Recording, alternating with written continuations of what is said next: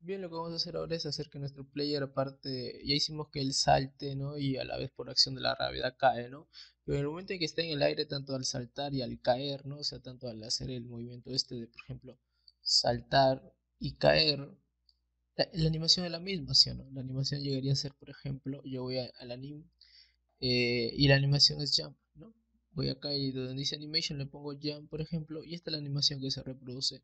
Pero esta animación se reproduce tanto al subir cuando salto y a la, a la misma vez cuando caigo por la gravedad es la misma animación. En cambio yo quiero que cuando salte hasta su punto máximo se reproduzca esta animación pero cuando caiga quiero que tenga otra animación en todo este trayecto. Y cómo hacemos eso bueno para eso eh, el personaje como trae esa animación yo le he puesto el nombre fal, le he agregado acá, le creo una nueva animación, le he buscado, es esta llamada fal, solo es una imagen. Entonces, esa animación fal llegaría a ser esta, ¿no? Esta, esta cuenta acá está mirando hacia abajo con el pie distinto, mientras que cuando salta está de esta forma, ¿no? Entonces, ¿cómo hacemos eso para modificar esto? Bueno, sencillo, porque si te das cuenta, en donde están las animaciones, aquí, yo le he dicho Acá te acuerdas que acá diferenciamos cuando la velocidad es distinta cuando está en el piso, ¿no? Acá vamos a hacer lo mismo en el else. Cuando yo voy hacia arriba, mi velocidad eh, es negativa, ¿no? Si te das cuenta, cuando yo salto, presiono la tecla saltar, que es la Z en mi caso, mi velocidad es negativa. Y cuando yo caigo, mi velocidad es positiva. ¿Por qué? Porque la gravedad es un número positivo hacia abajo en este caso, porque es positivo porque ya te he dicho que los ejes, el eje Y en God está al revés, entonces hacia abajo hay positivos, entonces cuando va cayendo obtiene un valor positivo que contrarresta el valor negativo y por lo tanto cae. Cuando cae, cae con velocidad positiva y cuando salta, salta con velocidad negativa, ¿no? Entonces, por lo tanto, yo le voy a diferenciar esto acá, igual lo mismo que hicimos acá, ¿no? Parecido, le voy a decir, si mi velocity punto y es menor a cero, significa que es negativa. Si es negativa, obviamente voy a estar hacia arriba, entonces va a ser la animación de jump. Caso contrario, else mi velocity eh, punto y bueno le voy a decir que caso contrario sea cuando sea mayor o igual a 0 le voy a decir que mi anim punto play ahora la animación de fall fall es caer en inglés ¿no? de caída entonces bueno vamos a ver si funciona ejecuto esto salto y viste aquí ya cambió los ojos ¿no? tú puedes sube y cae inmediatamente ya ha cambiado ¿no? bueno acá persigue esto lo mato entonces subo y caigo. Y ya estaría la animación de subir y de caer. Entonces con ya tendremos esa animación. ¿qué más vamos a hacer ahora? vamos a hacer el doble salto. Vamos a hacer que mi player salte dos veces. Esto me va a servir mucho para distintas mecánicas. Por ejemplo yo en mi caso yo le he dicho que puedo saltar cuando pego ¿no? si te das cuenta yo puedo saltar cuando estoy pegando acá ¿no?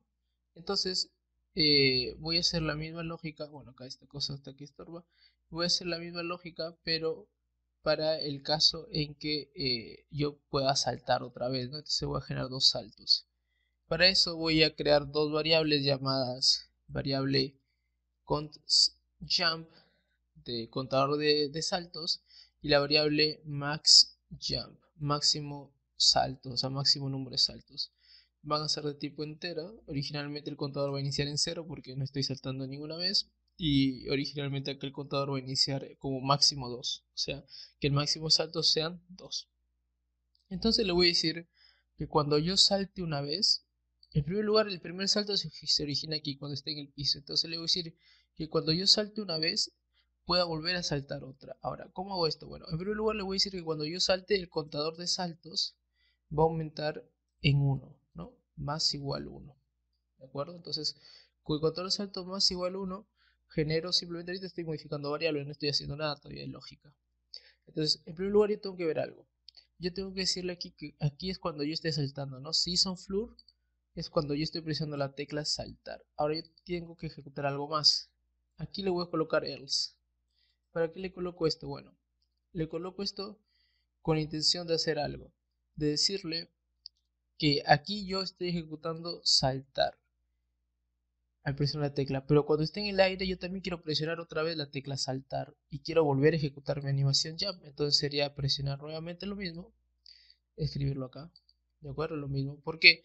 Porque esto solo se va a ejecutar cuando yo esté en el piso, pero una vez que esté en el aire yo ya no voy a poder volver a ejecutar esto. Un doble salto, ¿cómo, se da? Bueno, se da de la siguiente forma.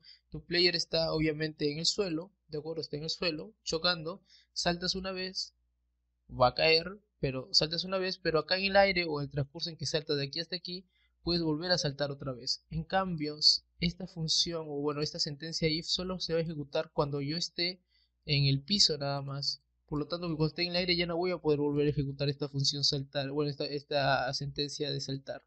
Entonces no me va a funcionar. Entonces por eso le digo else, que cuando ya no esté en el aire, pueda volver otra vez a ejecutar y le voy a decir si item ya parece saltar, entonces el contador va a subir 1. Ahora, ¿por qué hago esto de 1? Bueno, porque yo al saltar voy a poder volver a ejecutar la animación salto, pero solo modifico contadores. Mira, si yo lo quito sencillamente sin colocar contadores ni nada, como si simplemente hubiera agregado esta línea de código, cuando yo ejecute esto, yo ejecute esto, mira, vamos a matar a este enemigo, ejecute esto 1, 2, 3, 4, 5, o sea, puedo hacer saltos infinitos, pero por eso yo le querido colocar un máximo contador. Entonces le voy a decir que cuando yo salte aquí, el valor es 1 el contador. Entonces, si originalmente el contador era 0, ahora con más 1, ¿cuánto es? Es 1.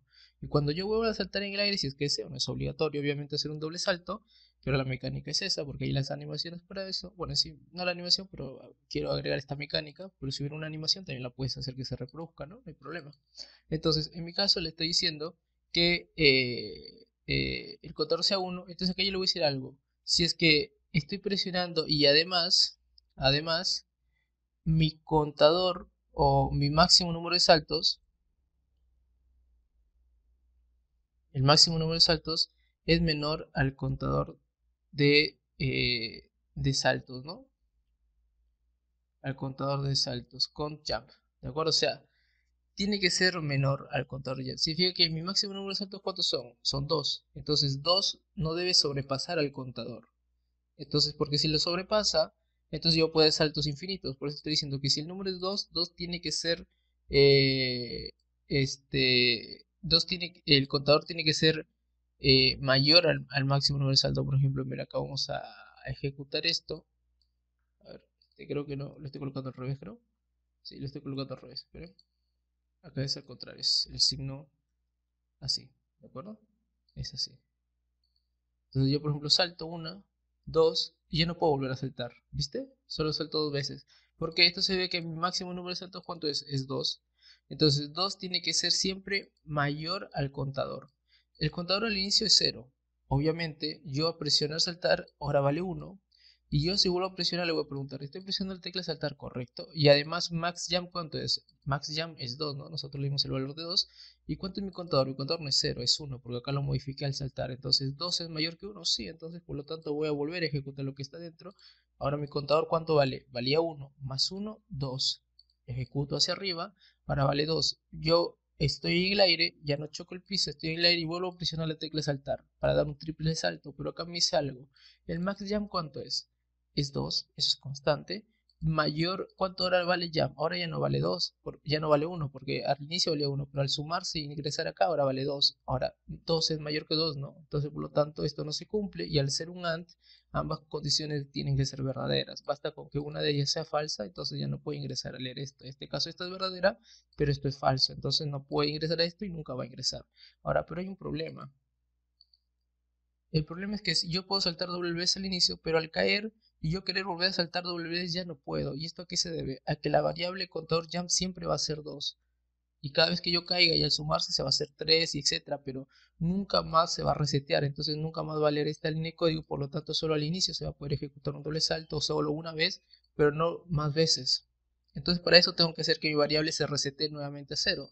Y eso lo voy a hacer que cuando el player caiga, entonces mi variable, o sea, cuando yo esté chocando el piso, mi variable contador jump vuelva a ser 0, ¿no? Entonces cada vez que yo suba, eh, se hace 0 y al presionar la tecla aumenta 1, hace 1 y una vez que yo esté en el aire y vuelvo a presionar la tecla, se hace 2 y entonces ya no va a poder volver a ingresar. Pero una vez que yo vuelvo a caer al suelo, nuevamente se va a resetear mi variable en 0 y así sucesivamente. Y ahora ya puedo hacer saltos dobles en cualquier momento que yo desee. Por ejemplo, mira, hay un salto, otro salto, caigo, un salto, otro salto y se reseteó el valor si te das cuenta y ambos conservan su animación de fall si te das cuenta no qué más algo más al hacer un doble salto tú puedes controlar que el siguiente salto sea de un valor distinto si deseas o sea el mismo valor. En mi caso este salto vale 250 eh, por ejemplo yo quisiera que sea 500 por ejemplo o sea que sea el doble o sea que el segundo salto va a ser mayor al primero mira.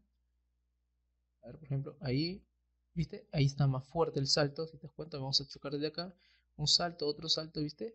Entonces yo puedo controlar eso. Pero en mi caso yo quiero que sea igual, o sea, depende de cada uno. Puedes hacer que sea menor, ¿no? Distinto. En mi caso yo quiero que el salto sea igual, entonces, bueno, porque me gusta cómo ha quedado.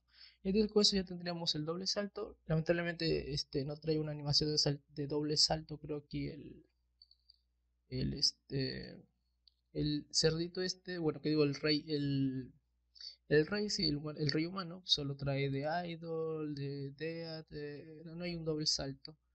Entonces no se puede generar esa animación, pero bueno, eh, para ver cómo se hace la animación puedes ver ahí la lista de reproducción de creando un juego en God 4 donde hablo de doble salto y ahí sí hay una animación de doble salto, que simplemente hace lo mismo, ¿no? No, hay ni otra lógica. Pero entonces, bueno, en este caso ya tendríamos entonces generado este, la animación de subir y caer y la animación, y bueno, y el movimiento de un doble salto.